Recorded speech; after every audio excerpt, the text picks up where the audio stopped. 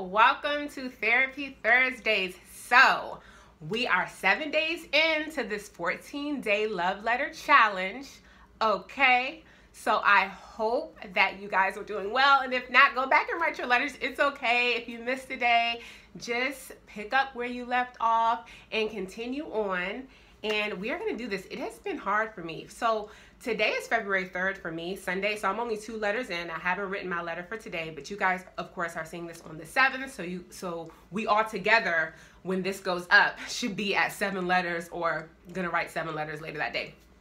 Anyways, it's been rough and I've only written two letters. I'm like, dang, I didn't, I knew it was going to be hard. Like I told y'all in the last video, I knew it was going to be hard, but I did not know that it was going to be this hard. So God is really revealing a lot of things that I sort of kind of knew and either ignored or repressed or pushed back and some new things that I didn't know or that I thought I got through and I have not gotten through when it comes to loving myself. So it's really exposing a lot of things and I didn't talk about this in the video. I wrote it in the blog, but I'm also doing the YouVersion, some YouVersion plans. Um, it's a Bible app for those who don't know. And those plans have been really helpful. If you're just now seeing this, go ahead and start today or start tomorrow and just join us and write yourself a love letter for 14 days. And you can do some YouVersion bible app plans if you would like to to give you more god-centered encouragement as you're writing these letters. And then if you feel led to also do a 14 day fast to correspond with that do that as well. I really encourage you. So this is just a check-in. I'm not talking about anything new. I just want to encourage us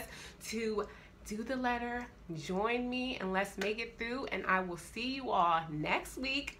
We will be on the last day of the challenge by then.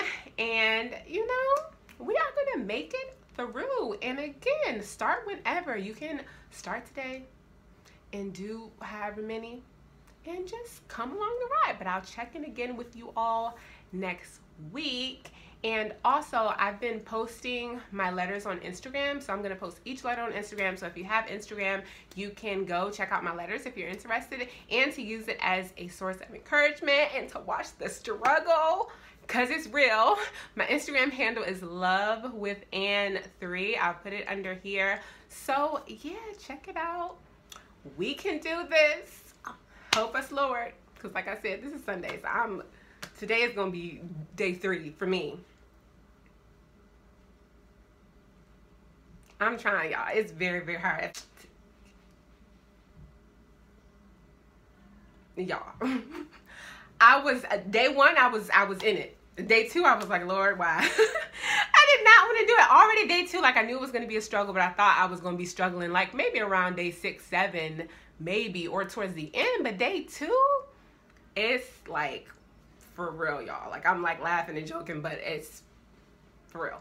So just push through, do it, if some new stuff rises up as you're doing it, deal with those. Let God heal you. Let God speak to you in those areas and just push through. If the letter is one sentence, let that be a bomb, spirit led sentence, okay? It does not have to be a long letter. But, anyways, yeah, just push it. You got it. I got it. We got it. Thank you, Lord. All right, y'all. Thank you all so much for watching. And remember to love always. Bye.